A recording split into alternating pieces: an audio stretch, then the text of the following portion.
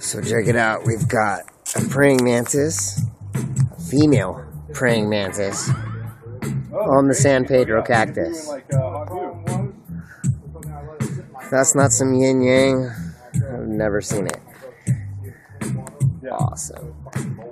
Oh, good. Well, there isn't a whole lot of water.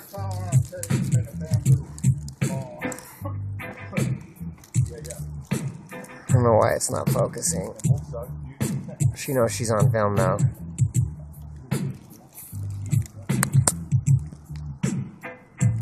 Oh, I think I just took a screenshot. I don't know how to focus.